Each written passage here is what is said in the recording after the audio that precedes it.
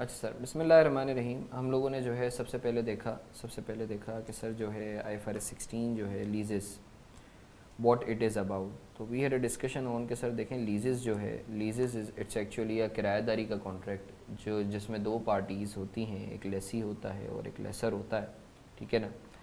अब sir lease क्या होती है? This is something really important क्योंकि हर कॉन्ट्रैक्ट अपेरेंटली जो है जो आपको ऐसा लग तक सकता है कि वो किरायादारी का कॉन्ट्रैक्ट है, ज़रूरी नहीं है कि वो वाकई जो है वो किरायादारी का कॉन्ट्रैक्ट हो। तो सर, अगर कोई कॉन्ट्रैक्ट लीज का कॉन्ट्रैक्ट नहीं है तो फिर वो आई एफ़ आर सिक्सटीन में डील नहीं होगा। सर फिर हमने देखा कि लीज के अंदर जो है दो चीज़ें होनी चाहिए। एक तो राइट टू यूज़ होना चाहिए लेसी के पास और एसेट आइडेंटिफाइड होना चाहिए। अगर दोनों में से कोई एक बात भी नहीं है तो वो कुछ भी कहलाए लीज का कॉन्ट्रैक्ट नहीं कहलाएगा। उस पर फिर हमने बात की कि सर एसिड आइडेंटिफाइड होने का मतलब क्या है? उसकी मॉडलिटीज़ हमने देखी। कि सर देखें एसिड आइडेंटिफाइड होने का मतलब ये है कि सर एसिड के बारे में हो कौन सा एसिड है। अब सर ज़रूरी है कि क्या कॉन्ट्रैक्ट में लिखा हो? नहीं सर, ज़रूरी नहीं है। It could be implied as well फिर हमने देखा कि सर अगर लेट से पोर्शन अगर आप पोर्शन जो है, किसी पोर्शन का आप जो है, वो किराए का कॉन्ट्रैक्ट करते हो कि पोर्शन आपको किराए पर लेना है तो क्या पोर्शन जो है would be considered as identified तो सर, हमने देखा कि अगर तो वो फिजिकली डिस्टिंक्ट है तो yes it would be considered as identified अगर तो वो कैपेसिटी है तो कैपेसिटी जैसे ऑयल पाइपलाइन या गैस पाइपलाइन आपने जो है किसी से उसकी सर्विसेज़ ले रहे हो, कि भाई इस गैस पाइपलाइन का जितना भी आउटपुट होगा, वो आपका होगा तो यू नीड टू सी कि वो कैपेसिटी आइडेंटिफाइड उस वक्त कहलाएगी जब तो हंड्रेड परसेंट आपको मिल रहा हो, या फिर सब्सटेंशियल पोर्शन जो है मतलब मोर देन नाइन्टी परसेंट जो है उसका बेनिफिट आपको मिल रहा हो. Otherwise it won't be considered as identified फिर हमने देखा कि सर, अगर लेट से एसिड आइडेंटिफाइड है बट राइट टू सब्सटीट्यूट जो है वो सप्लायर के पास है। सप्लायर जब चाहे उसको वो क्या कहते हैं सब्सटीट्यूट कर सकता है, कोई और एसिड ला सकता है। तो क्या ये आइडेंटिफाइड कहलाएगा? तो सर हमने देखा कि सर वो आइडेंटिफाइड उस वक्त नहीं कहलाएगा अगर तो सप्लायर के पास सब्सटेंटिव राइट टू सब्सटीट्यूट है। मतलब सप्लायर के सप्लायर के लिए वो चीज़ इकोनॉमिकली वायबल है। तो it won't be considered as identified hence lease का कॉन्ट्रैक्ट नहीं होगा। फिर हमने देखा कि सर देखें, दूसरी कंडीशन ये है कि सर राइट टू यूज़ मतलब right to control the use जो है, वो भी लेसी के पास होना चाहिए। राइट टू यूज़ के अंदर दो चीज़ें आती हैं। एक तो ये है कि उस एसिड का जो सब्सटेंशियल बेनिफिट है, वो लेसी को मिलना चाहिए। सही है? नंबर वन और ये जो सब्सटेंशियल बेनिफिट है this is as per the usage ownership से अगर कोई बेनिफिट मिल रहा है और वो लेसी को नहीं मिल रहा तो उसका मसला नहीं है। यूजेज से जो सब्सटेंशियल बेनिफिट है मतलब मोर देन 90 परसेंट बेनिफिट वो लेसी को मिलना चाहिए। इसी तरीके से फिर हमने बात की कि sir right to control the use के इस्तेमाल कैसे होगा? वो भी लेसी के पास। सिर्फ़ आम खाना जो है वो लेसी के लिए नहीं होना चाहिए, इस्तेमाल कैसे करना है वो भी राइट लेसी के पास हो। अगर तो इस्तेमाल करने का राइट के इस्तेमाल किस तरीके से करना है, वो लेसी के पास नहीं है हाउ टू यूज़ तो वो फिर लीज का कॉन्ट्रैक्ट नहीं होगा। अच्छा सर, बाजूकात कुछ एसेट्स ऐसे होते हैं जिसका प्री डिटरमाइंड यूजेज होता है, यानी no one can actually you know include in के भाई इस्तेमाल कैसे होगा। वो ऐसे डिज़ाइन ही ऐसे हुआ हुआ होता है। तो उस सिनेरियो में स्टैंडर्ड बोलता है कि आप देखो कि ऑपरेट कौन कर रहा है। अगर तो ऑपरेट लेसी कर रहा है, या फिर वो जो डिज़ाइन है, वो लेसी ने बनाया है तो फिर तो वो लीज का कॉन्ट्रैक्ट होगा। या राइट टू यूज़ जो है, वो हम कहेंगे कि right to control the use lessee के पास है। इसके ऊपर हमने इलस्ट्रेशन भी की। सही है ना? आई एफ़ आर एस की एडप्शन हम लोगों ने की, जो आई एफ़ आर एस के अंदर I F R S sixteen में इलस्ट्रेशन है पार्ट बी में। फिर सर हम लोग जो है थोड़े से इंटरेस्टिंग एरिया की तरफ़ बढ़े कि सर देखें अब जो लीज़ है ना लीज़ एक्चुअली जो है सर एक तो लेसी के पर्सपेक्टिव से और एक लेसर के। दोनों की अकाउंटिंग हमने देखनी है ना। मालिक की भी अकाउंटिंग देखनी है और किराएदार की भी अकाउंटिंग देखनी है। तो हमने बात की कि सर लेसी के पर्सपेक्टिव से जो है ना, दो टाइप्स हैं।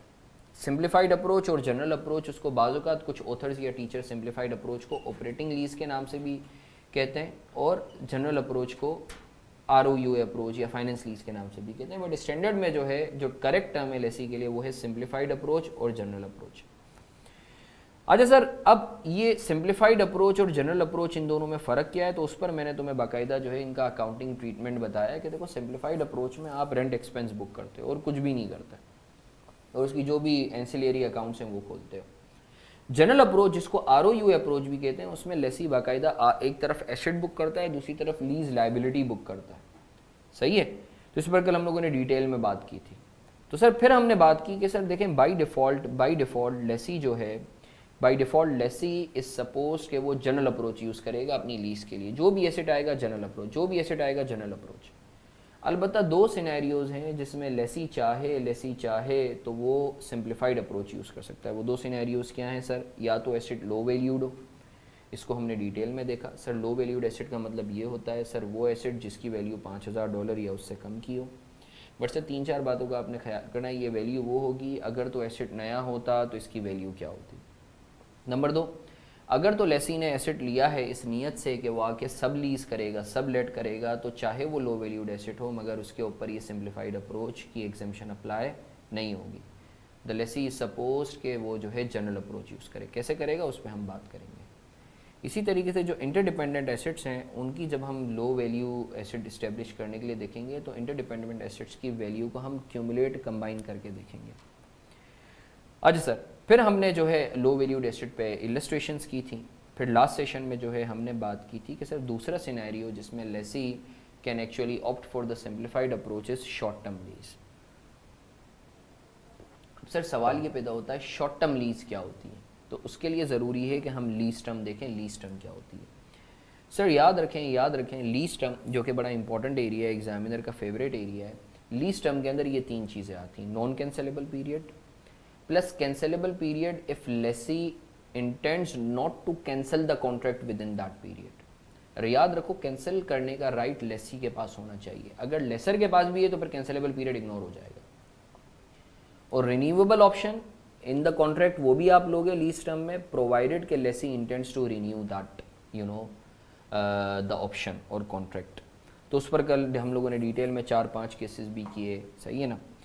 फिर हमने बात की कि सर शॉर्ट टर्म लीज वो लीज कहलाती है जिसका लीज टर्म 12 महीने या उससे कम का हो। तो यहाँ तक हमने बात की थी एंड आज we were suppose to actually you know start with some illustration so let's have a quick look at that sir uh, required to calculate the lease term for each of the above scenarios. Example 12 Entity A lessee enters into a lease over a plant. Consider the following scenarios. Yes, scenarios The lease is a non cancelable for a period of 3 years from commencement date, after which entity A then has the option to extend the lease for further 2 years. Entity A is reasonably certain that it will exercise the renewable option. Sir non cancellable period है तीन और renewable है दो और company का इरादा भी है लेसी का कि वो इसको रिन्यू करवाएगी तो इसमें है पाँच सही है two the lease is non cancellable for a period of three years from commencement date after which entity A then has the option to extend the lease for further two years. Entity A is reasonably certain that it will not exercise the renewable option. नहीं sir, इसमें जो है renewable option नहीं होगा, सिर्फ़ तीन होगा आपका। Scenario three the lease is for a ten year period during which the first seven years is non cancellable at the end of the seven year period entity A has the option to terminate the lease entity A is reasonably certain that it will exercise the termination option सात हैं, दस हैं, कितने sir, सात साल सिर्फ़ non cancellable होगा reason being cancellable period में कंपनी का इरादा है कि वो कैंसिल करवाएगी। Scenario 4. The lease is for a 10 year period during which the first 7 years is non cancelable. At the end of the 7 year period, entity A has the option to terminate the lease. Entity A is reasonably certain that it will not exercise the termination option. Company का इरादा है कि वो cancel नहीं करेगी तो इस case में कितना है सात प्लस तीन दस साल scenario five the lease is for a ten year period during which first seven years is non cancellable At the end of the 7 year period, both entity A and the lesser have the option to terminate the lease. दोनों के पास option है। मैंने तुम्हें categorically बोला था कि सिर्फ़ लेसी के पास होना चाहिए। क्योंकि इंटेंसिटी समझो ना, अगर लेसर के पास ऑप्शन है, इसके मतलब इसका मतलब है सर्टेनिटी नहीं रही। तुम कैंसिल ना करो, वो कर दे दो। तो इसकी वजह, यही वजह है कि स्टैंडर्ड ने जो है, बोला है कि भाई कैंसिलेबल पीरियड में कैंसिल करने का राइट सिर्फ़ लेसी के पास होना चाहिए। तो इस सिनेरियो में चूँकि लेसर के पास भी राइट है तो आपका जो आखिरी का है, वो सात साल का लीज टर्म होगा। ठीक है सर आई होप सर आपको ये चीज़ क्लियर है। मैं उम्मीद करता हूँ आपको क्लैरिटी है। If anyone has got any this this this point is something really important I के एग्जामिनर ने भी इस पर एक से दो दफ़ा जो है काफ़ी ज़्यादा घुमाया है। ठीक है ना? तो याद रखो राइट इस कैंसिलेबल पीरियड को कंसिडर करने के लिए ज़रूरी है the right to terminate should only lie with the lessee अच्छा sir, after understanding, after having the context of, you know, lease term, now let's deep dive into कि sir short term lease जो हैं, क्या कहते हैं, अगर तो होंगी, कोई भी लीज शॉर्ट टर्म होगी तो वो कब शॉर्ट टर्म कहलाएगी? सर, अगर तो वो बारह महीने या उससे कम की हो। अब सर याद रखो कोई भी शॉर्ट टर्म लीज अगर है ना, अगर लेट से किसी ने कोई चीज़ किराए पे ली है लीज पे ली है, आठ महीने में, नौ महीने के लिए, दस महीने के लिए तो सर वो फिर शॉर्ट टर्म लीज कहलाएगी और लेसी चाहे तो उस लीज को एज यूजिंग सिंप्लीफाइड अप्रोच जो है अकाउंट फॉर कर सकता है। ठीक है ना? मगर याद रखो वो शॉर्ट टर्म लीज के अंदर ना परचेज ऑप्शन ना हो। अगर तो शॉर्ट टर्म लीज में परचेज ऑप्शन होगा तो फिर उस, वो शॉर्ट टर्म लीज तो कहलाएगी बट उस पर ये एग्जेम्पन अप्लाई नहीं होगी। मतलब अगर जो है शॉर्ट टर्म लीज है और परचेज ऑप्शन है, सही है? तो फिर आप सिंप्लीफाइड अप्रोच यूज़ नहीं कर सकते। तो ये चीज़ याद रख लेना शॉर्ट टर्म लीज होने के साथ कोई परचेज ऑप्शन नहीं होना चाहिए। अगर तो कॉन्ट्रैक्ट के अंदर परचेज ऑप्शन है कि लेसी भाई खरीद सकता है, सही है? तो फिर ये शॉर्ट टर्म लीज होगी तो बट इसके ऊपर सिंप्लीफाइड अप्रोच अप्लाई नहीं कर सकता lessee. Then he is bound कि वो जनरल अप्रोच ही अप्लाई करे। तो सर, मैं उम्मीद करता हूँ आपको इस चीज़ पे क्लैरिटी है। अब सर ये एक और इलस्ट्रेशन है, मैं चाहूँगा जल्दी से अटैम्प्ट करेंगे इसे। जल्दी से अटैम्प्ट करेंगे और मुझे बताएँगे does this lease you know meet the criteria of a short term और नॉट आए सर, मैं क्विकली डिस्कस कर लेता हूँ। Entity A consider the following non related leases involving delivery of vehicle required है for each of the leases briefly explain whether the lease meet the definition of a short term lease and whether it would thus classify for the option to apply for the recognition exemption so ये क्या recognition exemption मतलब simplified approach use करने की इजाज़त होगी या नहीं होगी Entity A enters into a lease where the contractual terms result in a lease term of six months with no option to purchase. क्या ये short term lease है जी सर short term lease है क्या exemption apply होगी yes sir बिल्कुल exemption apply होगी मतलब the lessee can opt for simplified approach Entity A enters into a lease where the contractual term results in a non-cancellable lease term of uh, 12 months plus an option to extend the contract for further 6 months. Given that the rentals in the extended 6 months would be significantly below market value, management concludes that it is reasonably certain that entity will exercise its option to extend the contract to the full 18 months. Sir lease term जो है वो 18 महीने की हम मानते हैं non cancellable period 12 महीने का है माशाल्लाह मगर हमें लीज टर्म की चूँकि डेफिनेशन पता चल गई है तो 12 महीने प्लस 6 महीने because lessee intends to you know renew the contract तो आपका 18 महीने का है तो it's not a short term lease सही है sir entity A enters into a lease where the contract term result in a non cancellable lease term of twelve months plus a further six months during which entity A may at any stage choose to cancel the contract Management cons considers the cancellation penalty to be insignificant and thus conclude that it was reasonably certain that it would not exercise its option to terminate. That is, it was possible that entity could exercise its option to terminate.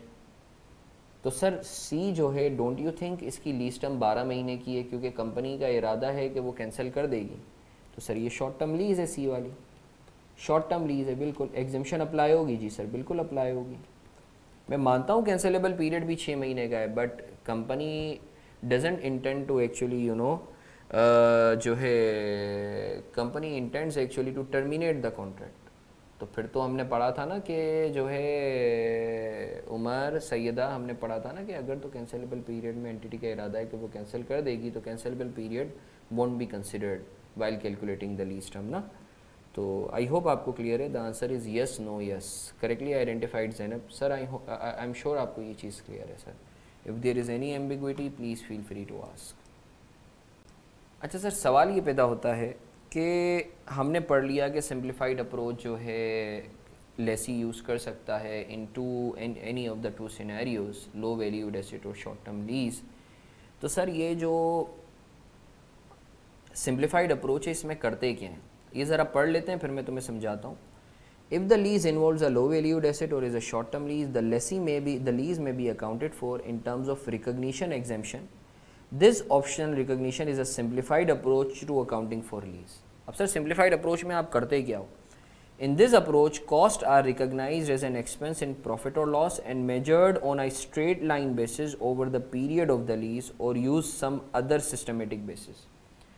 Sir normally straight line method ही होता है तो आप क्या करते हो, आप rent expense book करते हो और इसको 12 महीनों पे चार्ज आउट कर देते हो। सही है ना? Simple is that simplified approach में कुछ नहीं, आप रेंट एक्सपेंस बुक करते हो और उसको स्ट्रेट लाइन बेसिस पे बुक कर लेते हो। एक इलस्ट्रेशन कर लेते हैं एक इलस्ट्रेशन कर लेते। I would like all of you to be focused here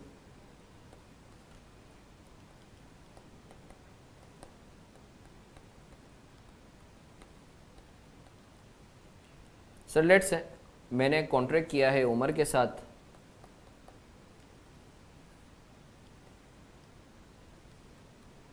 lease contract किया है कोई लो वैल्यूड एसेट के लिए। उमर के साथ। सही है?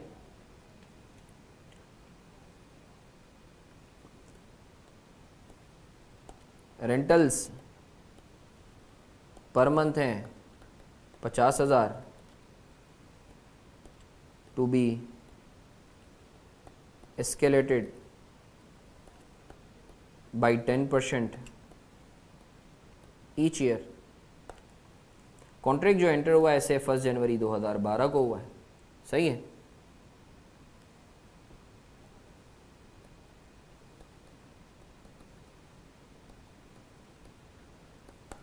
कॉन्ट्रैक्ट कितने सालों का है? कॉन्ट्रैक्ट टर्म जो है आपका वो है थ्री ईयर्स ठीक है सर ईयर एंड डेट है आपकी से थर्टी फ़र्स्ट दिसंबर अब सर इसकी एंट्रीज बना लेते हैं। अगर तो सिंप्लीफाइड अप्रोच होती तो how we we would have approach this तो सर एक काम करते हैं, सबसे पहले हम रेंट पर ईयर निकाल लेते हैं ना। इसका सॉल्यूशन कर लेते हैं। रेंट पर ईयर आपका पहले साल में कितना होगा सर पचास हज़ार इंटू बारह। पचास हज़ार इंटू बारह पहले साल में कितना होगा सर? छः लाख। सही है? ईयर टू छः लाख ही होगा, उसके ऊपर दस परसेंट तो ये बन गया छः लाख साठ हज़ार। सही है? तीसरे साल कितना होगा? छः लाख साठ हज़ार का दस परसेंट इट कम्स टू छः लाख साठ हज़ार का दस परसेंट कितना होता है? Multiply by one point one कर दो, कितना आ रहा है? छः लाख साठ हज़ार का वन पॉइंट वन कर दो। दस परसेंट से स्केलेट हो रहा है ना? सात लाख छब्बीस हज़ार। स्टूडेंट बोलता है कि यार, ये जो तीन सालों में तुम्हें अलग अलग देने हैं ना, इसका स्ट्रेट लाइन ले लो। इन सबको सम करके डिवाइडेड बाई थ्री करो। कितना आ रहा है? इन सबको सम करके डिवाइड बाई थ्री करो।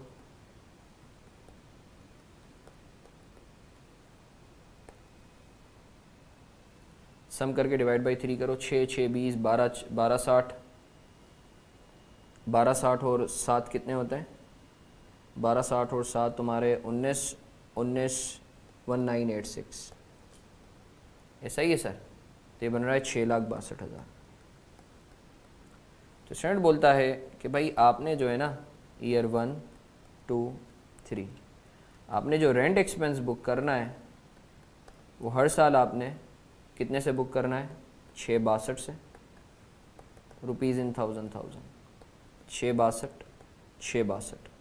अब आपका सवाल आएगा कि सर ये ये मालिक मकान तो ये चीज़ें नहीं समझता ना? तो मैं मानता हूँ, मैंने कब बोला?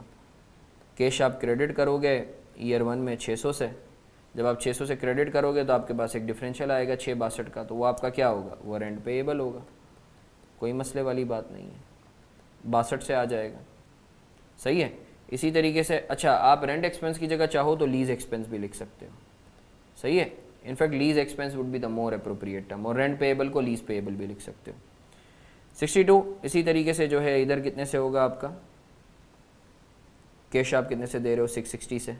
तो आपका पेएबल कितने से आ जाएगा? दो से। सही है?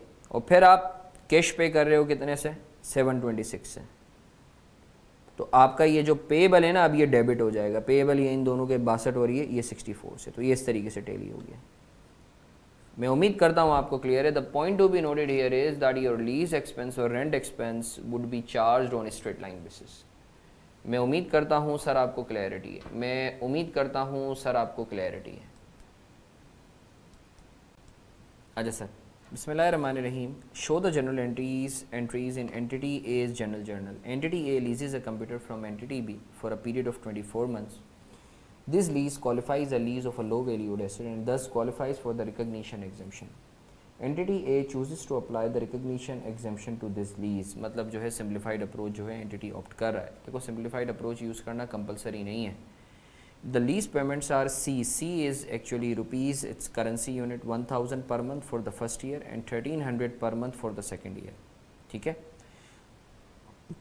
The lease commenced on 1st April 2001 entity A has 31st December year end show the journal entries in entity as general journal sir हमें एंट्रीज बनानी है ठीक है सबसे पहले तो हम रेंटल पर ईयर निकाल लेते हैं या रेंट एक्सपेंस पर ईयर निकाल लेते हैं ये कमेंट्री लिखी हुई है since the recognition exemption is applied to this lease the lease rentals are recognise as an expense on straight line basis over the lease term of two years क्योंकि दो सालों का this means we must recognise lease expenses one one five zero per month since the lease payments differ from the lease expense result in this example in payable इसको मैं खुद भी करवा देता हूँ, बल्कि मैं इधर ही करवा देता हूँ।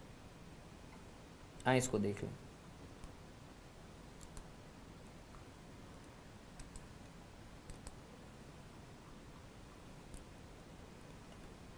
Solution?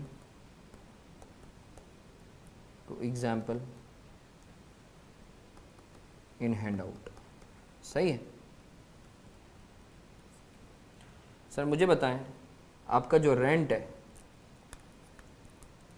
total rent of two years वो कितना है? पहले साल का है हज़ार इंटू बारह प्लस दूसरे साल का है। ऐसा ही है ना, मैं if I am not wrong मेरे ख्याल से यही है। हज़ार हज़ार है और तेरह सौ। तेरह सौ इंटू बारह डिवाइडेड बाई चौबीस। तो ये पर मंथ कितना आएगा? One one five zero per month अब सर, आपको जो है एंट्री बनानी है दो हज़ार दो दो हज़ार तीन, दो हज़ार चार। क्योंकि फ़र्स्ट अप्रैल 2002 से एंटर हुआ है ना फ़र्स्ट अप्रैल 2000 जो है फ़र्स्ट अप्रैल 2001 से दलीस कमेंशन फ़र्स्ट अप्रैल 2001 मतलब 2001 2002 2003 2001 2002 2003 ठीक है अच्छा सर हाँ हाँ बिल्कुल अप्रैल से हो रही है ना तो सर जो है क्या कहते हैं अभी तो मैंने टोटल रेंटल जो आपने रेंट एक्सपेंस मैंने कुछ नहीं किया, मैंने रेंट पर मंथ लिखा लिया है। चौबीस महीने को मैंने डिवाइड मैंने बोला पर महीने एन एवरेज कितना पे करना पड़ेगा।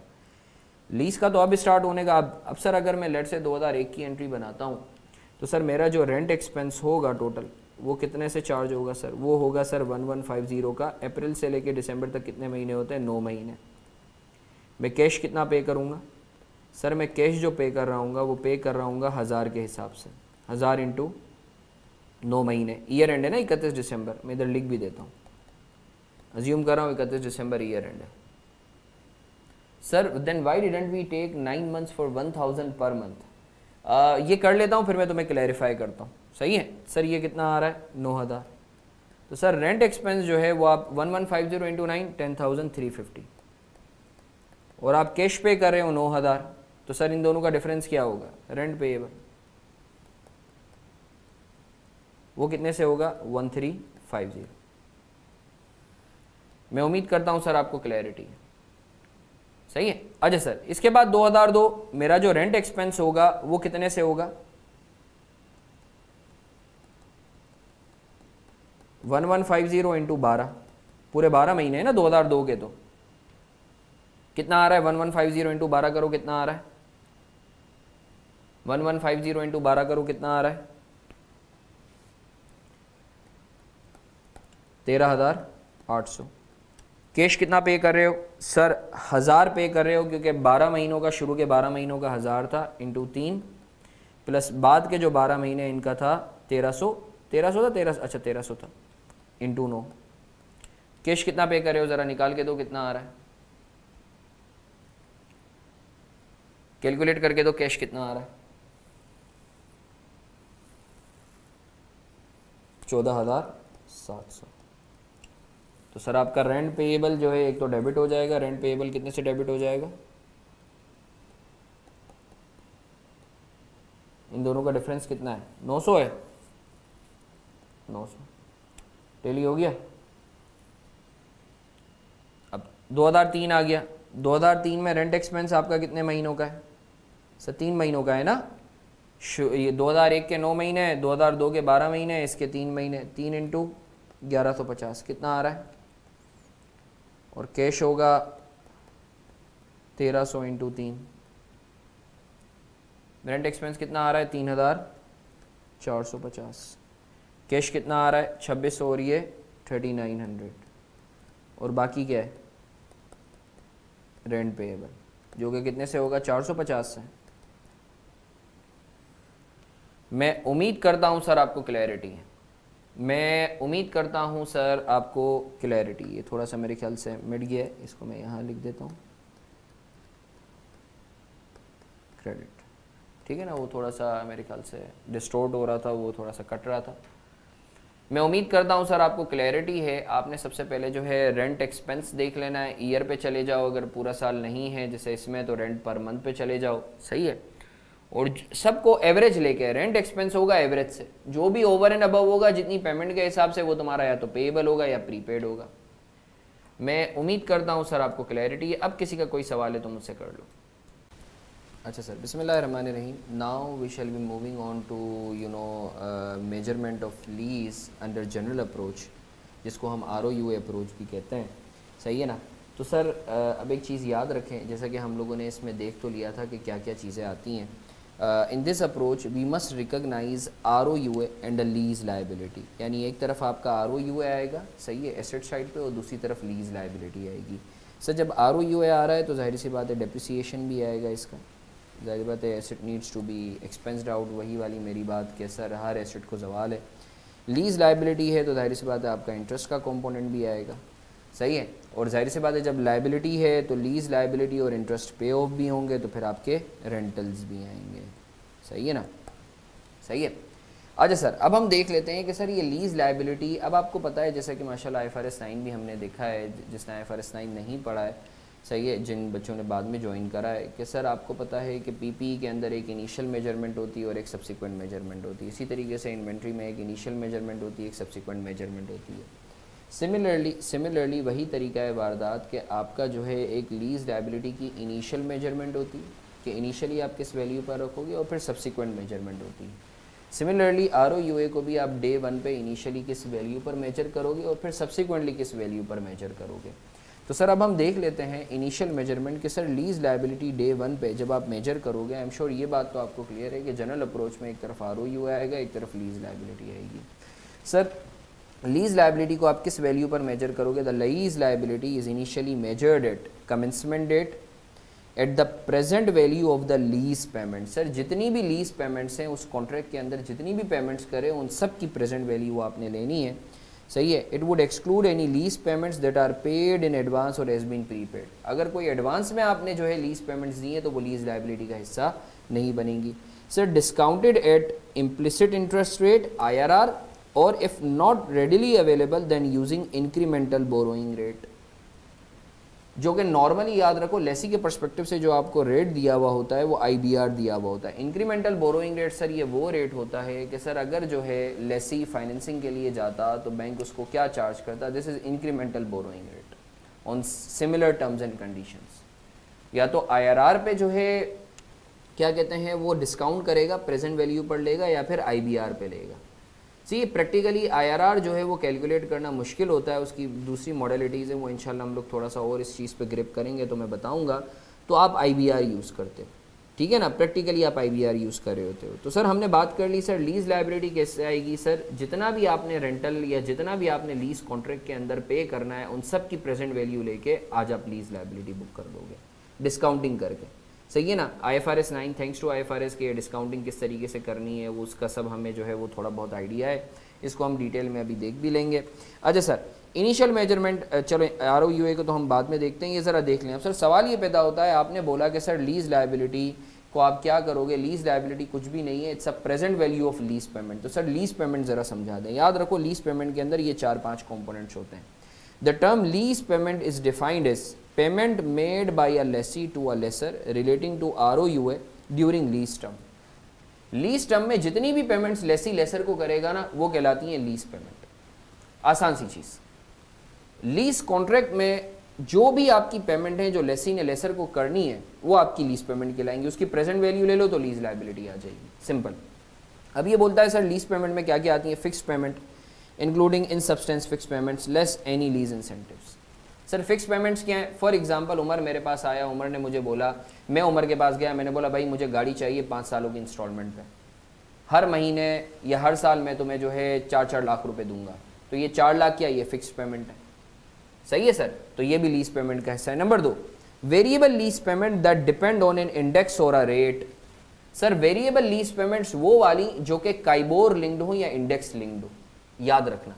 जैसे मैं तुम्हें बताऊँ बैंक्स के पास अगर तुम लोन लेने के लिए जाओ तो वो बोलते हैं के प्लस थ्री यानी आप जब गाड़ी लेने के लिए जाओ फाइनेंसिंग के लिए किसी भी बैंक के पास जाओ तो वो बोलेंगे के plus three percent KIBOR plus three percent तो सर, यहाँ तो रेंटल फिक्स नहीं है तो सवाल आ सकता है कि सर, क्या ये लीज पेमेंट का हिस्सा बनेंगे? सर, बिल्कुल बनेंगे, क्योंकि ये जो आपके रेंटल्स हैं, या ये जो आपकी पेमेंट्स हैं, जो वेरिएबल हैं, ये लिंक्ड हैं काइबोर से। अच्छा याद रखो, अगर सर काइबोर लिंक ना हो फॉर एग्ज़ाम्पल लेसर बोलता है कि भाई तुम मुझे पाँच परसेंट ऑफ़ योर प्रॉफिट भी दोगे एज आ रेंटल तो ये वेरिएबल लीज पेमेंट तो है बट ये लीज पेमेंट का हिस्सा नहीं बनेगी। बहुत अहम बात कर रहा हूँ। एग्जामिनर क्या करता है? वेरिएबल लीज पेमेंट जो है, वो क्या करता है? वो रेवेन्यू से लिंक करवा देता है। तो याद रखो, सिर्फ़ इंडेक्स लिंक्ड जो कि हमारे यहाँ काइबोर है नॉर्मली जैसे लंदन में लाइबोर है तो पाकिस्तान के अंदर काइबोर है, Karachi inter bank offer rate सही है ना? तो ये होता ये है कि सर ये आप एवरेज लेकर जो है तमाम बैंक्स जो है आप बोरोइंग और लेंडिंग कर रहे होते हैं तो सर उनका एक वेरिड एवरेज आ जाता है आपका। तो सर इसका कॉन्सेप्ट क्या है? बैंक बोलता है कि भाई, ये तो मेरा रिस्क फ्री रेट है एक तरीके से। इस पर तो मुझे कोई नुकसान नहीं होगा। तो जब दूसरे को फाइनेंसिंग देता है तो इसके ऊपर स्प्रेड रख के देता है। तो सर याद रखो वेरिएबल लीज पेमेंट सिर्फ़ और सिर्फ़ वो वाली आएँगी जो इंडेक्स लिंक्ड हो, हमारे केस में काइबोर अगर अदर देन काइबोर किसी और जो है, क्या कहते हैं मॉडलिटी से लिंक्ड है तो वो फिर वेरिएबल लीज पेमेंट तो कहलाएगी बट वो लीज पेमेंट का हिस्सा नहीं होगी। नंबर दो the exercise price of a purchase option if the lessee is reasonably certain to exercise that option मैंने उमर को बोला कि, उमर, मैं जो है तुमसे गाड़ी खरीदूँगा। सही है? पाँच साल बाद उमर बोलता है अच्छा आपके पास ऑप्शन है, आप चाहो तो वो गाड़ी खरीद ले। वो, मैं उमर के पास गया, मैंने बोला, उमर भाई, मुझे पाँच सालों की इंस्टॉलमेंट पे गाड़ी दे दो। उमर ने बोला, सही हसन भाई, आप पाँच सालों के इंस्टॉलमेंट पे गाड़ी इस्तेमाल करो, पाँचवें साल के एंड पे आपके पास ऑप्शन होगा, आप चाहो तो वो गाड़ी को खरीद लेना नॉमिनल अमाउंट में। तो अगर तो मेरा इरादा है उस परचेज ऑप्शन को अवेल करने का तो स्टैंडर्ड बोलता है उस परचेज ऑप्शन को भी लीज पेमेंट का हिस्सा बनाओ, क्योंकि तुम लीज के कॉन्ट्रैक्ट में दे रहे हो ना उसे। सही है? नंबर तीन। नंबर चार payment of penalties for terminating the lease if the lease term reflects that the lessee exercising an option to terminate the lease अगर तो कोई कैंसलेबल पीरियड है और उसमें आपका इरादा है कैंसिल करने का और आपको पेनल्टी भी देनी पड़ेगी। सर स्टैंडर्ड बोलता है, उस पेनल्टी को भी लीज पेमेंट का हिस्सा बनाओ। आई होप सर आपको ये चीज़ क्लियर है। अभी फ़िलहाल मैं रेजिजुअल वैल्यू गारंटी और इस पर अभी मैं बात नहीं कर रहा, आपने याद रखना है लीज लाइबिलिटी जो है it's a present value of lease payments sir lease payment में फ़िलहाल ये चार चीज़ें आती हैं। पांचवी चीज़ भी आ सकती है, उसको मैं बाद में बात करूँगा। Number one fix payment number two variable lease payments if they are link to KIBOR number दो purchase price purchase option purchase जो आपका ऑप्शन एक्सरसाइज प्राइस है वो. नंबर तीन पेनल्टीज अगर तो आप पे करोगे. उन सबको सम करोगे तो you would get the lease term अगर आप उसकी प्रेजेंट वैल्यू ले लोगे तो आपके पास आ जाएगी लीज लाइबिलिटी तो सर आई एम श्योर आपको ये चीज़ क्लियर है कि डे वन पे लीज लाइबिलिटी किस वैल्यू पर मेजर होगी? Present value of lease payment discounted at IRR और आईबीआर आई होप सर आपको ये चीज़ क्लियर है। मैं इधर लिख भी देता हूँ एक तरीके से आपकी आसानी के लिए। सही है? Lease general approach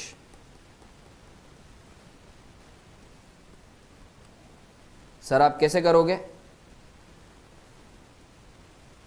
Lease liability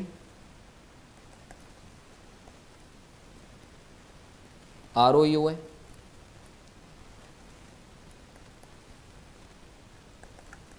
initial measurement. Sir, lease liability कैसे होगी? लीज लाइबिलिटी के शॉर्ट फॉर्म में एल एल कहूँगा। इनिशियली मतलब डे वन पे, present value of lease payment, discounted at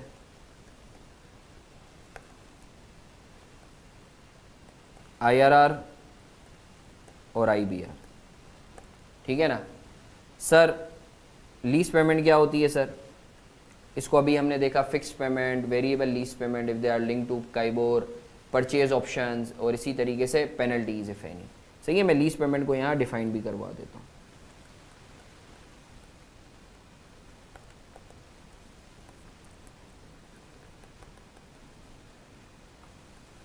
fixed payment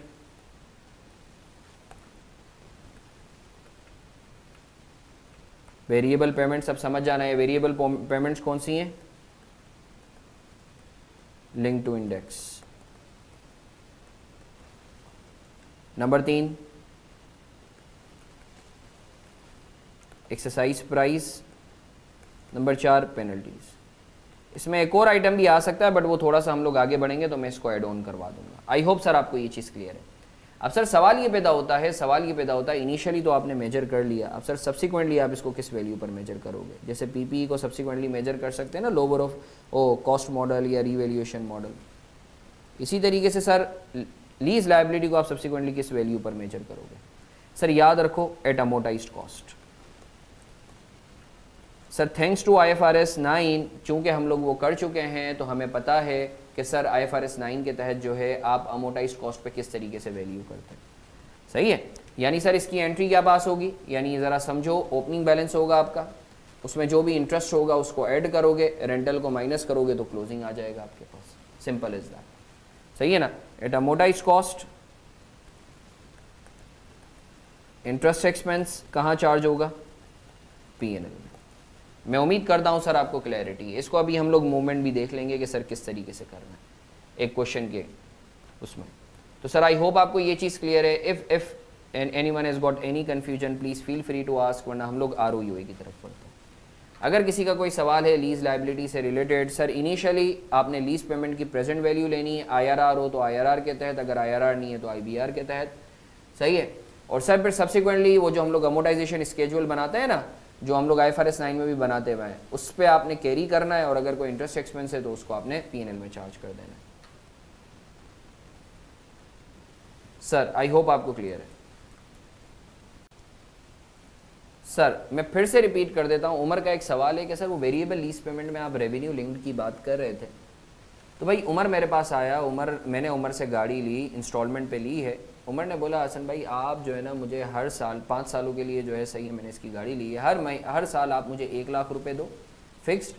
और आपका जो भी प्रॉफिट होगा ना इस गाड़ी से, या इस गाड़ी को चला के लेट से मैं ट्रांसपोर्ट के लिए, उबर के लिए मैं ले रहा हूँ तो आप अपने प्रॉफिट का पाँच परसेंट भी मुझे देना। तो सर, क्या ये वेरिएबल है? जी सर।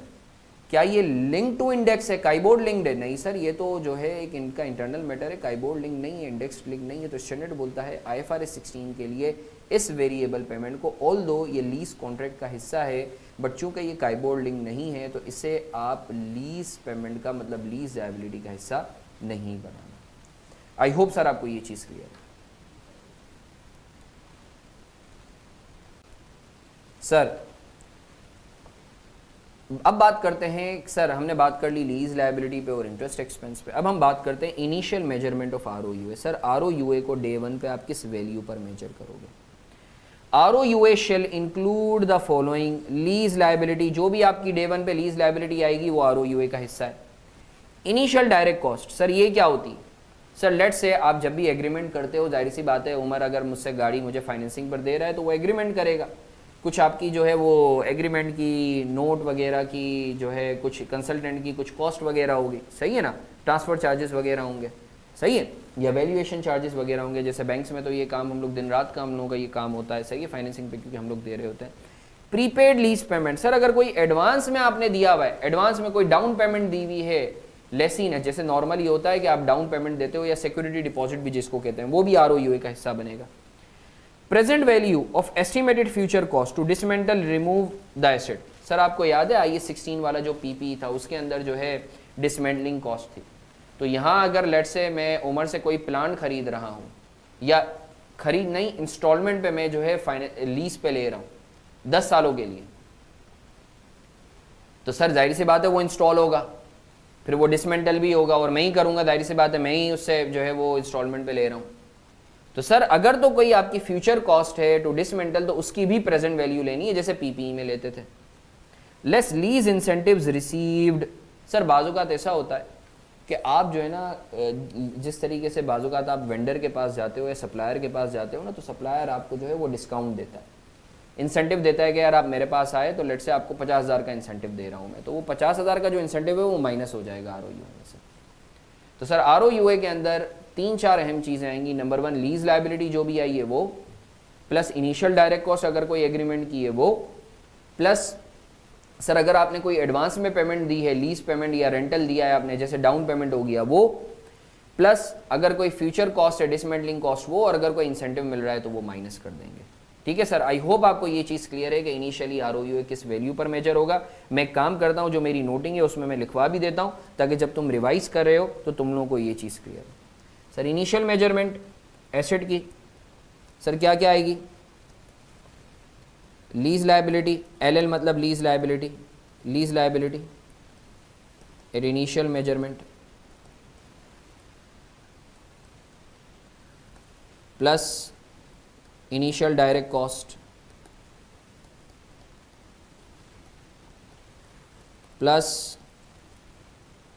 down payment वो एडवांस लीज पेमेंट थोड़ा मुश्किल होता है तो मैंने आसान सा लफ्ज़ लिख दिया down payment plus present value of dismantling cost less lease incentives अगर आपको कोई मिल रहे हैं तो वो आप माइनस कर देंगे. मैं उम्मीद करता हूँ सर आपको क्लैरिटी मैं उम्मीद करता हूँ, सर, आपको क्लैरिटी है। आपने ये चार पाँच चीज़ें आपको सवाल में दी हुई होंगी तो आप उसकी बेसिस पे R O U A calculate करेंगे। अब सर, सवाल ये पैदा होता है, सवाल ये पैदा होता है कि sir R O U A का आपने बता दिया इनिशियली किस वैल्यू पर मेजर होगा? अभी क्वेश्चन भी करते हैं। Sir subsequently R O U A किस तरीके से डिप्रिशिएट होगा? इसको देखते हैं।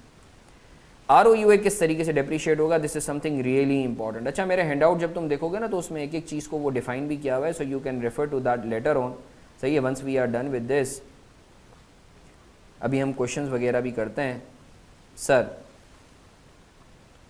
subsequent measurement of R O U sir subsequently R O U A जो है, वो डिप्रिशिएट होगा।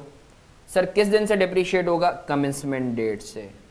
Now this is something really important यहाँ मैं तुम्हें बताऊँगा कि जो आई एस सिक्सटीन वाला पीपीई है और यहाँ का जो आर ओ यू है, उन दोनों में क्या फ़र्क है।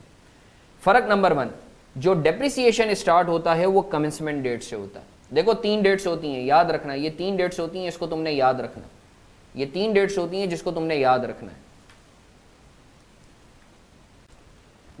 रहीम देखो सर, ये तीन डेट्स हैं जो तुमने याद रखनी है। I F R S sixteen में एग्जामिनर इसमें काफ़ी ज़्यादा घुमाता है। एक होती है इंसेप्शन डेट एक होती है कमेंसमेंट डेट और एक होती है date on which asset becomes in a usable condition example के ज़रिए समझाता हूँ. फॉर एग्ज़ाम्पल मैं उमर के पास गया, मैंने बोला, भाई, मुझे फाइनेंसिंग पे जो है वो गाड़ी चाहिए। मुझे गाड़ी चाहिए फ़र्स्ट जुलाई से। मैं फ़र्स्ट जनवरी को साल के शुरू में इसके पास गया हूँ। मैं गया उसके पास, उमर से ज़ाहिर सी बात दोस्ती यारी थी। उमर ने बोला, सही हसन भाई, हम एग्रीमेंट कर लेते हैं आज, ताकि कल कल जो है ना कोई बदमजगी ना हो। हम एग्रीमेंट कर लेते हैं, सही है, मैं आपको फ़र्स्ट जुलाई से गाड़ी जो है वो अवेलेबल करूँगा। ठीक है ना? फ़र्स्ट जुलाई से गाड़ी आपके पास होगी। अब सर इंसेप्शन डेट जो है यहाँ, हमारे केस में कौन कौन सी है? जिस दिन एग्रीमेंट हुआ है फ़र्स्ट जनवरी 2012 आज एग्रीमेंट हुआ। सर, उमर मेरे लिए गाड़ी कब अवेलेबल करेगा? उमर ने गाड़ी अवेलेबल की है मुझे फ़र्स्ट जुलाई 2012 अब मैंने बोला, नहीं यार, इस गाड़ी में कुछ मसले मसाइल हैं, या इसके शीशे जो हैं मुझे से काले करवाने में ऐसे इस्तेमाल नहीं करूँगा, या आउट ऑफ़ नो मेरे दिमाग में आया कि यार मैं एक काम करता हूँ, इसको फोर की जगह एट सीटर बना लेता हूँ, पीछे जो है वो कार्ड लगा लेता हूँ। सही है। तो सर यूजेबल कंडीशन में इन सारी चीज़ों में जो है एक महीना और लग गया। तो फॉर एग्ज़ाम्पल जो है एसेड यूजेबल कंडीशन में आया है से फ़र्स्ट अगस्त 2012 को। मैंने अपने हिसाब से इसको थोड़ा सा ऑल्टर करवाया। तो सर, अगर तो ये आई एस सिक्सटीन का, अगर तो ये आई एस सिक्सटीन का एसेट होता तो we would have started charging depreciation अगर तो ये पीपी होता, मैं ऑन करता तो मेरे लिए जो रेलेवेंट डेट होती यूजेबल कंडीशन वाली हमने पढ़ा है, वो होती first August 2012 I S sixteen के तहत। बट लीजेज में लीज में लीज के कॉन्ट्रैक्ट में अगर कोई लीज एसेट है तो डेप्रिसिएशन के लिए हमारे लिए जो रेलेवेंट डेट होगी, वो कमेंसमेंट डेट होगी first July 2012 I F R S sixteen वाला एसेट मैं उम्मीद करता हूँ, सर, आपको क्लैरिटी है। मैं उम्मीद करता हूँ, सर, आपको क्लैरिटी है कि इंसेप्शन डेट कौन सी होती है कमेंसमेंट डेट कौन सी होती है, और date available for use asset कौन सा date on which asset becomes in usable condition कौन सी होती है, और आई एफ़ सिक्सटीन के तहत डिप्रिसिएशन के लिए हमारे लिए रिलेवेंट डेट कौन सी है? कमेंसमेंट डेट अच्छा सर। अब सवाल ये पैदा होता है कि sir R O U A को आप डिप्रिशिएट किस, आप किस सब्सिक्वेंटली किस वैल्यू पर मेजर करोगे? सर, दो मॉडल्स होते हैं कॉस्ट मॉडल भी होता है रीवैल्यूएशन मॉडल भी होता है। अभी मैं फ़िलहाल रीवैल्यूएशन की मॉडलिटीज़ में नहीं जा रहा हूँ, हम कल की क्लास में देखेंगे। फ़िलहाल आप समझ लो आर ओ यू ए जो है वो कॉस्ट मॉडल पर आप रखते हो। सही है ना? अब अब सर, आप क्या करते हो, उसके ऊपर डिप्रिसिएशन चार्ज करते हो। किस डेट से डिप्रिसिएशन सर चार्ज करना स्टार्ट करोगे? कमेंसमेंट डेट से, ये हम लोग देख चुके हैं। सर डेप्रिसिएशन चार्ज करने का कौन सा मेथड होता है? Sir normally straight line method होता है. नॉर्मली स्ट्रेट लाइन मेथड होता है. सही है? अच्छा सर बाकी दूसरे मेथड्स भी हो सकते हैं बट नॉर्मली लीज आपकी टेन्योर पे बेस करती है तो स्ट्रेट लाइन मेथड होता है. अब सर सवाल ये पैदा होता है कि आप कितने टेन्योर पे जो है, एक तो एसिड की होती है लाइफ एक तो एसिड की होती है यूजफुल लाइफ और एक एसिड की होती है लीज टर्म भाई, ये गाड़ी है लेट से दस साल चल सकती है, या प्लांट है, दस साल चल सकता है, मगर मैंने लीज टर्म पे लिया है पाँच साल के। तो आप जो डेप्रिशिएट करोगे सर वो पाँच सालों पे करोगे या दस सालों पे करोगे? अच्छा एक इकोनॉमिक लाइफ का भी कॉन्सेप्ट होता है, फ़िलहाल मैं उसको अभी बाद में उस पर डिस्कस करूँगा। अभी मैं फ़िलहाल कंफ्यूज नहीं करूँगा, वो बताऊँगा, मगर अभी अभी थोड़ी देर में ही मैं बताऊँगा। तो सर सवाल ये पैदा होता है कि आपकी एक तो लीज टर्म होती है और एक यूजफुल लाइफ होती है। तो आप डेप्रिशिएट किस पर करोगे? सर आसान सी चीज़ लोअर ऑफ़ पे। अगर तो आपको ऐसा लगता है ओनरशिप ट्रांसफ़र नहीं होगी तो लोअर ऑफ़ पे आप जो है वो डिप्रिशिएट करोगे। यूजफुल लाइफ है दस साल लीज टर्म है पाँच साल, कितने पे डिप्रिशिएट करोगे? पाँच साल। सर अगर तो आपको ऐसा लगता है ओनरशिप ट्रांसफ़र हो जाएगी at the end of the lease term तो फिर आप यूजफुल लाइफ पे करोगे दस सालों पे। यही चीज़ यहाँ लिखी है। Earlier of at the end of useful life of the ROUA or end of lease term if ownership is not expected to be transferred और अगर sir ownership expected to be transfer है तो at the end of useful life आसान सी चीज़। Sir, हमें कैसे पता चलेगा? सवाल में लिखा हुआ होगा you don't need to worry at all option नहीं होना चाहिए। एक्सपेक्टेशन टू ट्रांसफ़र होना चाहिए। बाजू का ऑप्शन है आपके पास, मगर वो प्राइस ही इतनी मांग रहा है लेसर कि आप बोलते हो, भाई, इससे अच्छा है, मैं मार्केट से जाके खरीद लूँ, इससे खरीदने की बजाय. तो एक्सपेक्टेशन होनी चाहिए, इसके ऊपर अभी हम क्वेश्चन भी करेंगे। तो सर, मैं उम्मीद करता हूँ आपको इस चीज़ पर क्लैरिटी है। इसको ज़रा मैं एक तरीके से लिखवा भी देता हूँ, ताकि आप लोगों के लिए आसानी हो जाए। सर रहमान रहीम। सर, एक बेसिक सी एग्जांपल है क्विकली हम लोग कर लेते हैं लीज पे।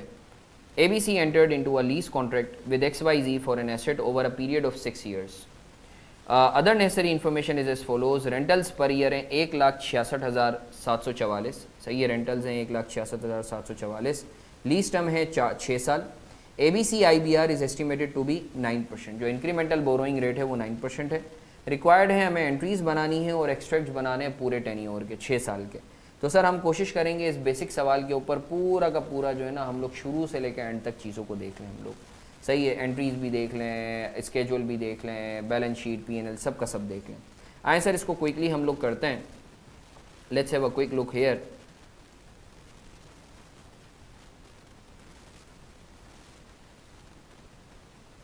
sir, solution to example one सबसे पहले हम लोगों का एम क्या होगा? सर सबसे पहले क्या निकालना है? Initial measurement lease liability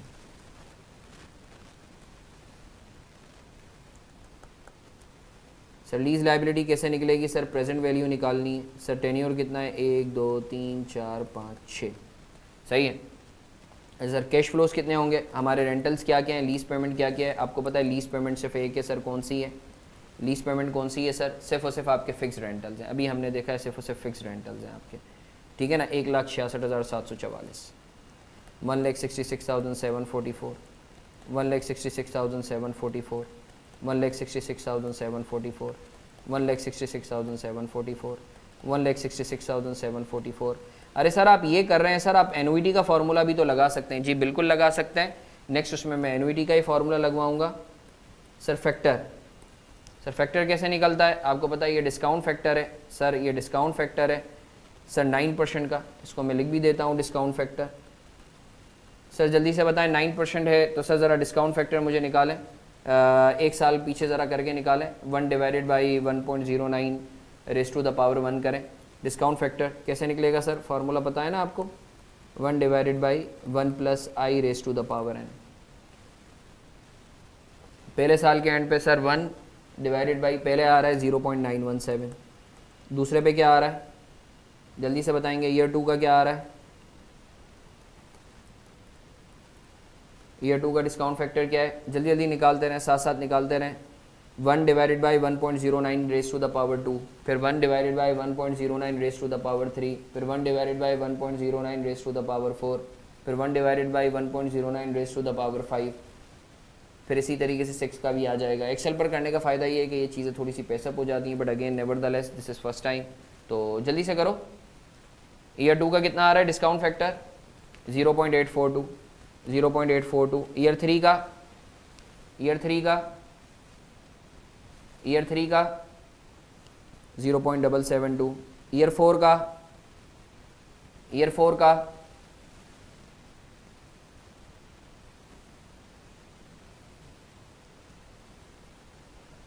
फिर ईयर फाइव का।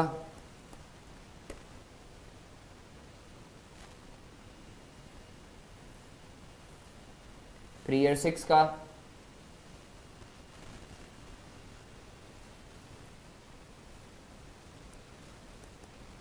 ईयर सिक्स का। Year six zero point five nine six present value ले लो, ज़रा कैश फ्लो को मल्टीप्लाई करो डिस्काउंट फैक्टर से तो ईयर वन का बताओ कितना आ रहा है। फिर ईयर टू के कैश फ्लो को डिस्काउंट फैक्टर से मल्टीप्लाई करो तो ईयर टू का कितना आ रहा है। दो डिजिट तक नॉर्मली जाएँगे आप। ईयर वन के कैश फ्लो को ईयर वन के डिस्काउंट फैक्टर से मल्टीप्लाई करो।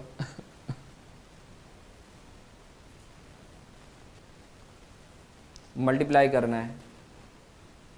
Sir one fifty two thousand nine zero four year two का बताओ, फिर ईयर थ्री का बताओ, फिर ईयर फोर का बताओ, फिर ईयर फाइव का बताओ, फिर ईयर सिक्स का बताओ, जल्दी जल्दी। अच्छा सर, इस, अगर आप ये निकालना चाहते हो तो आप प्रेजेंट वैल्यू ऐसे भी निकाल सकते हो। अच्छा one forty three ninety eight साथ साथ तुम लोग बताते रहो, मैं प्लॉटिंग करता रहूँगा, मैं तुम लोगों के लिए एक और फार्मूला कर रहा हूँ। सर, आपने पढ़ा होगा कि सर, अगर तो आपकी जो है पीरियोडिक जो है इक्वल पेमेंट्स हैं तो आप जो है, क्या कहते हैं दूसरा है one twenty eight, seven twenty six. और भी निकाल के बताते रहो। अगर आपकी पीरियोडिक इक्वल पेमेंट्स हैं तो आप एनवीटी का फार्मूला भी यूज़ कर सकते हो। जी सर, आप इसको जो है डायरेक्टली एनवीटी के फार्मूले से भी निकाल सकते थे। बताओ ईयर फोर बताओ ईयर फाइव बताओ ईयर सिक्स बताओ, जल्दी जल्दी।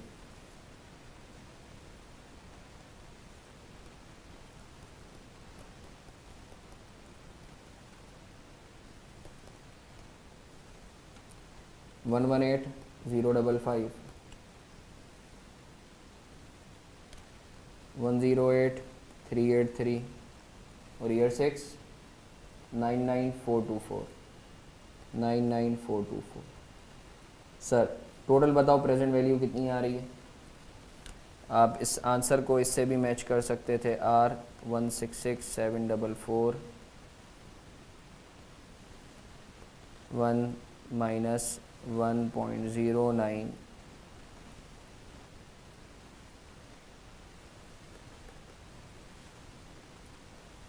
raise to the power six तो कितना बन रहा है? ज़रा मुझे बताएँगे? Seven forty eight thousand okay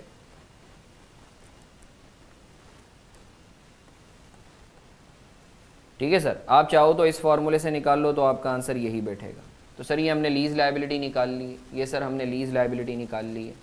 अब सर आपका आर ओ क्या होगा? आर ओ का फार्मूला भी यही था lease liability plus initial direct cost plus down payment plus you know present value जो भी हमने पढ़ा है।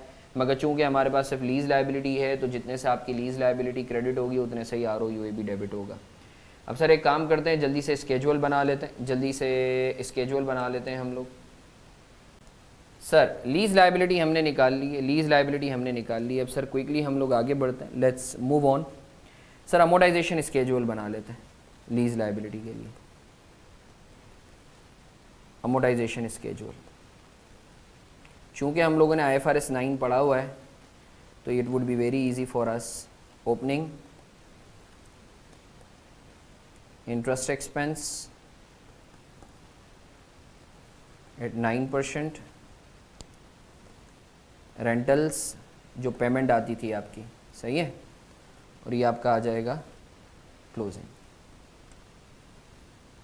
सर एक, दो, तीन, चार, पाँच, छः। सर ओपनिंग कितना है? Seven forty eight thousand nine percent का रेट लगाओ। सर नाइन परसेंट का रेट लगाओ। कितना आ रहा है सर जल्दी जल्दी। कितना आ रहा है?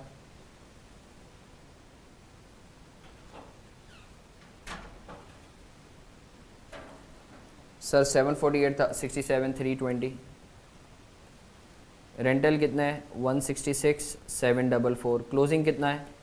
अच्छा दस पचास सौ रुपये का फ़र्क हो तो माशाल्लाह अब तो तुम लोग बड़े हो गए हो तो you know it's it's you know वो राउंडिंग अप राउंडिंग डाउन का डिफरेंस है। जल्दी से बताएँगे क्लोजिंग कितना आ रहा है।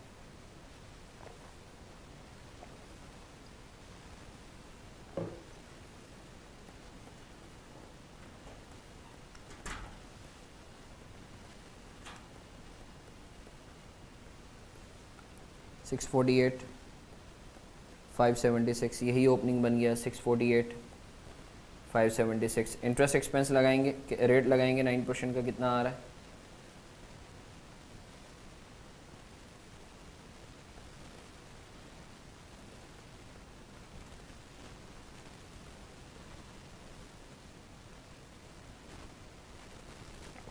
Fifty eight three seventy two closing बताएँगे क्लोजिंग कितना आ रहा है? क्लोजिंग बताएँगे।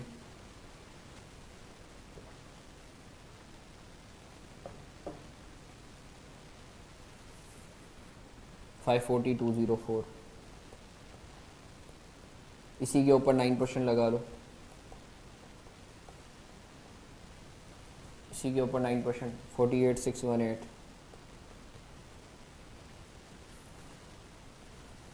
closing बताएँगे क्लोजिंग कितना आ रहा है।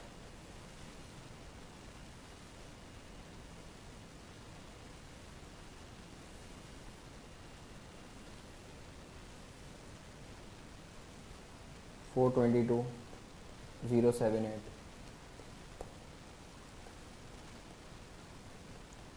interest expense बताएँगे, कितना आ रहा है? Three seven nine eight seven closing बताएँगे कितना आ रहा है? उमर, बाबू, तुम भी बता दो। जल्दी जल्दी, बाकी सब बच्चे बताएँगे, सब साथ साथ कैलकुलेट भी कर रहे हैं। Two nine three three two one अच्छा एक चीज़ याद रखना मीन तुम लोग कैलकुलेट करे हो, ये जो रेंटल्स है ना, ये पी प्लस आई दोनों हैं। इसमें पी भी है आई भी है। Two ninety three three twenty one इसी के ऊपर नाइन परसेंट लगा दो तो तुम्हारा एक्सपेंस आ जाएगा। Twenty six three double nine closing कितना आ रहा है? क्लोजिंग कितना आ रहा है?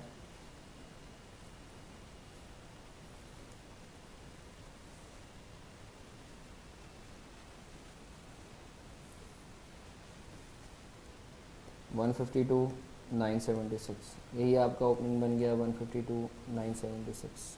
Interest expense thirteen thousand seven sixty eight और आप ये देखोगे कि ये सिफर हो चुका है। ठीक है ना सर? वो पचास दस रुपये अगर बचें तो कोई मसला नहीं है, वो सिर्फ़ जो है पॉइंटर्स की वजह से इशू आया होगा। तो सर अलहमदिल्ला we are done with our schedule ठीक है? अब सर, एक काम करते हैं क्विकली एंट्रीज़ बना लेते हैं। एंट्रीज़ बना लेते हैं। Zero one two, one, two, three, four, five, six. ठीक है, सर? अब, सर, एक एंट्री बनेगी आपकी R O U A debit year zero पर, और लीज लाइबिलिटी क्रेडिट सही है ना? सेवन फोर्टी एट थाउज़ेंड से क्लियर है, सर? ये डे वन पे बनेगी। ऐसा ही आप लोग मेरे साथ हो ना, सर? ये पहली एंट्री बनेगी। अब, सर, हर साल तीन एंट्रीज बनेंगी। तुम चाहो तो दो एंट्रीज एक आपकी लीज लाइबिलिटी की अमोटाइजेशन की और एक आपकी आर ओ यू ए की डिप्रिसिएशन की। Sir depreciation expense debit R O U A credit ठीक है सर सर ये कैसे कैलकुलेट होगा? Sir seven forty eight thousand को डिवाइडेड बाई सिक्स कर दो। यूज़फुल लाइफ तो दी भी नहीं है तो लीज टर्म ही है तो उसी पे ही करना है। मैं इधर तुम लोगों के लिए लिख भी देता हूँ। सेवन फोर्टी एट के divided by six sir depreciation कितना आ रहा है one two four double six seven year zero पे तो कुछ नहीं होगा one two four one two four double six seven one two four double six seven one two four double six seven one two four double six seven one two four double six seven one two four double six seven one two four double six seven one two four double six seven one two four double six seven one two four double six seven one two four double six seven one two four double six seven अच्छा sir, अब एक और entry लगेगी आपकी, sir payment की, या interest की आप लगा लो line by line sequence wise ही चलो। Interest expense debit lease liability credit क्योंकि सर देखो ना, आप प्लस कर रहे हो ना, ये आपकी lease liability seven forty eight थी इंटरेस्ट की वजह से आपकी लाइबिलिटी बढ़ गई। सही है ना? सर, ये आपने ऊपर sixty seven three twenty sixty seven three twenty amortisation schedule बनाना ही, बनाया इसीलिए। Fifty eight three seventy two ऊपर जो स्केजुअल बनाया है ना, उसी की बेसिस पे। फिर forty eight six one eight forty eight six one eight फिर thirty seven nine eighty seven thirty seven nine eighty seven फिर twenty six three double nine twenty six three double nine फिर one three seven six eight one three seven six eight ठीक है, sir? इसके बाद एक और entry आपकी लगेगी। सर, ज़ाहिर बात है पेमेंट हुई है तो लीज लाइबिलिटी कम होगी। Lease liability debit cash credit sir, ये कितना? इधर मैं ये लिख रहा हूँ, समझ जाना। One sixty six seven double four से debit one sixty six seven double four से क्रेडिट पाँचों सालों में यही एंट्री लगेगी। सही है ना? मसला तो नहीं है ना ये मैं इस तरीके से पेपर में तुम लोगों ने ये हरकतें नहीं करनी है तो just to save the time मैं इस तरीके से करवा रहा हूँ। ठीक है बच्चों? आई होप सर आपको ये चीज़ क्लियर है। If there is any confusion please feel free to discuss अब सर अल्लाह का शुक्र है हम लोगों ने एंट्रीज भी बना ली हैं। अब एक काम कर लेते हैं क्विकली जो है मैं तुम लोगों के लिए एक्सट्रैक्ट्स भी बनाए देता हूँ। एक्सट्रैक्ट्स भी बनाए देता हूँ। इधर बहुत गौर से सुनेंगे। Now this is something really important क्योंकि इसके जो है डिस्क्लोजर्स एग्जामिनर पूछ रहा होता है। तो मैं चाहूँगा इधर फोकस्ड रहो सर इधर हम बना लेते हैं S O C I extracts one two three four five six depreciation expense आएगा. अगर रिकॉल करो, याद है ना, हम लोग करते थे, मैंने तुम लोगों को जब आई एस ट्वेल्व करवाया था डेफर टैक्स तो उसमें ये चीज़ करवाई थी. और इंटरेस्ट एक्सपेंस आएगा। So depreciation expense one two four double six seven और ये सेम रहेगा। सही है ना? One two four double six seven इसका मतलब यही है one two four double six seven ये इंटरेस्ट एक्सपेंस सर, पहले साल सिक्सटी सेवन थ्री ट्वेंटी फिर five eight three seven two मैं इसको थोड़ा सा एक्सटेंड कर लेता हूँ ताकि और सफ़ाई से हो जाए। Three four five six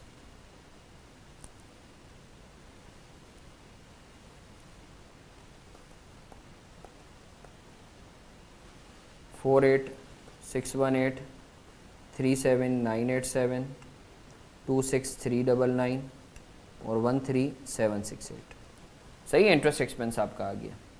sir आपका एसओसीएफ के एक्सट्रैक्ट्स बना लेते हैं स्टेटमेंट ऑफ़ कैश फ्लोज के एक्सट्रैक्ट्स बना लेते हैं सर सर, आपका cash flow from financing activities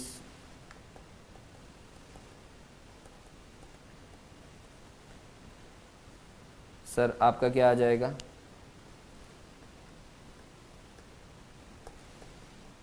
Rentals paid one two six आपका चूँकि कांस्टेंट रहा है तो one double six seven double four right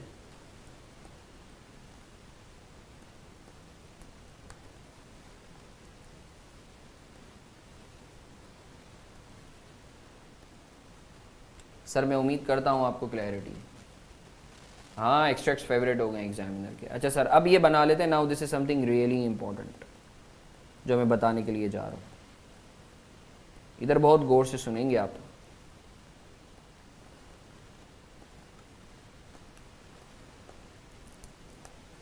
इसको बहुत गौर से देखेंगे।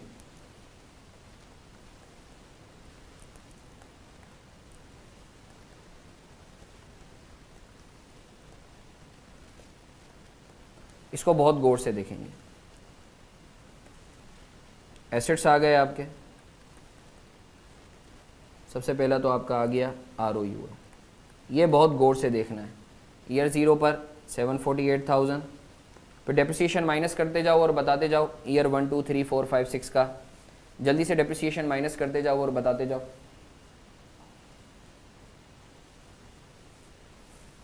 माइनस करते जाओ और बताते जाओ। 748 में से 124 माइनस करो और बताओ कितना है। 124 twenty four double six seven और इज़ इक्वल टू दबाते रहो तो आता रहेगा। 748 में से वन छः सालों पे बेटा छः सालों पे। 748 forty eight minus one twenty four double six seven करो तो फिर ईयर वन का आ जाएगा। फिर इज़ इक्वल टू दबाओ तो ईयर टू का, फिर इज़ इक्वल टू दबाओ। ये शॉर्टकट्स पता है ना कैलकुलेटर के तुम्हें या नहीं पता? फिर इज़ इक्वल टू दबाओ तो दूसरे साल की वो माइनस वापस कर देगा। कितना आ रहा है? अच्छा तुम लोगों को लिखना भी पड़ता होगा ना दायरे से बातें वो निकाल के। अच्छा मैं भी एक काम करूँगा, मैं बीच में जो है ना, वो माइक खुलवा दूँगा, ताकि एक बच्चा जो है ना, वो बोलता रहे।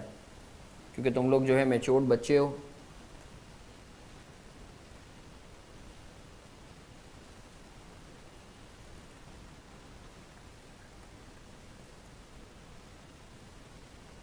Three seventy four thousand year four year four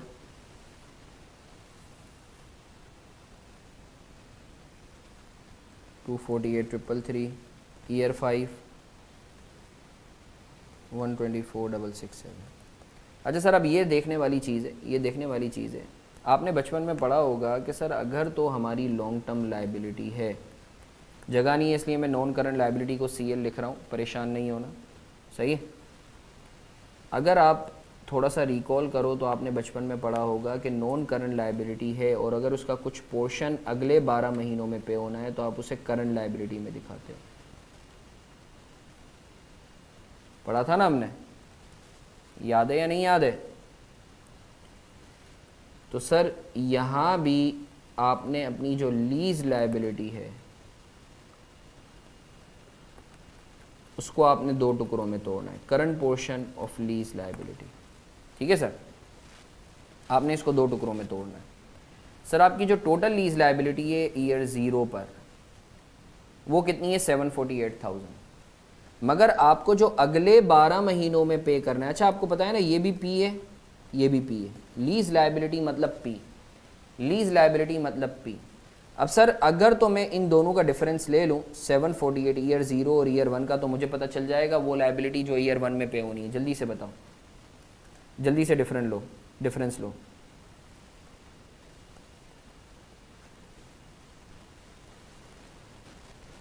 कितना आ रहा है? Six forty eight five seventy six minus seven forty eight thousand कितना आ रहा है? कितना आ रहा है? करंट पोर्शन कितना है? Six forty eight five seventy six minus seven forty eight करो ना, कितना आ रहा है?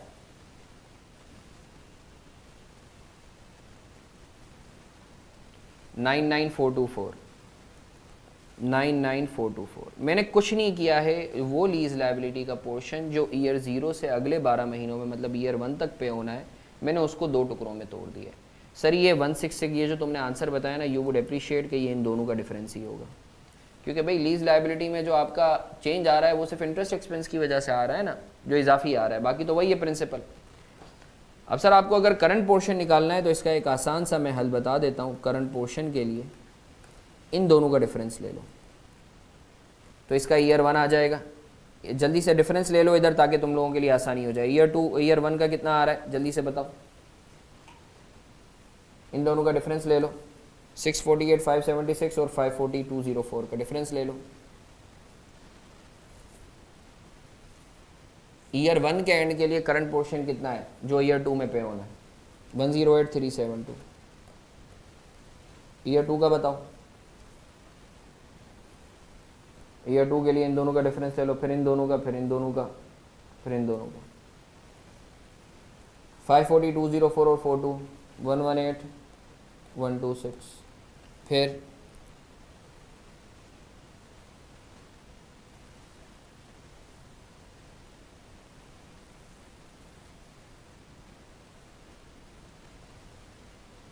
फिर 422 और 293 का डिफरेंस लो 128 757 फिर 293 और 152 का डिफरेंस लो, कितना आ रहा है? 140 345 फिर फिर तो यही आएगा ना 152 976 ऐसा ही है और ये तो ज़ीरो हो गया। ऐसा ही है ना सर? आई होप आपको क्लियर है।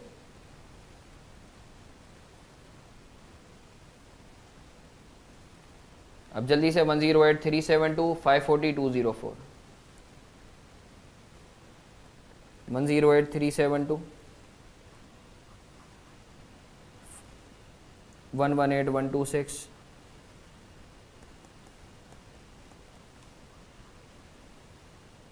one two eight seven five seven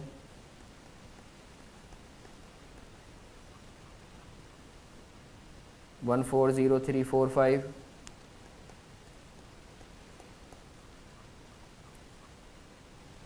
one five two nine seven six. और ये हो जाएगा zero.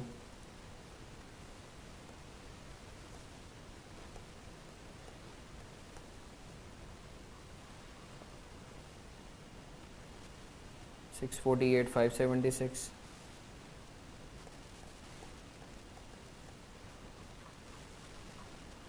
Five four zero two zero four.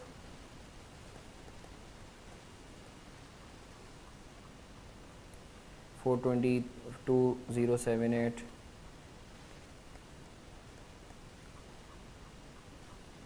two nine three three two one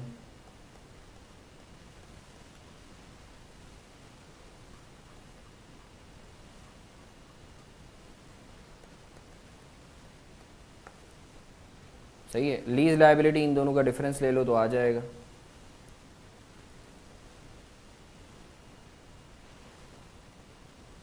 बहुत अच्छा सवाल। बताता हूँ इसका जवाब।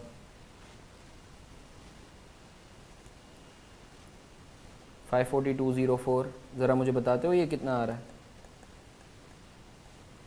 ये टू का।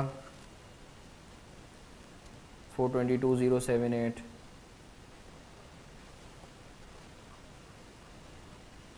two ninety three three twenty one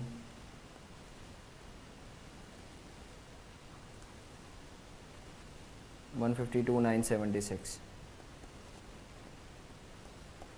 तो sir that's how are you no lease का जनरल अप्रोच का एक जो बेसिक क्वेश्चन है, वो हम लोगों का कंप्लीट हुआ if anyone has got any question please feel free to ask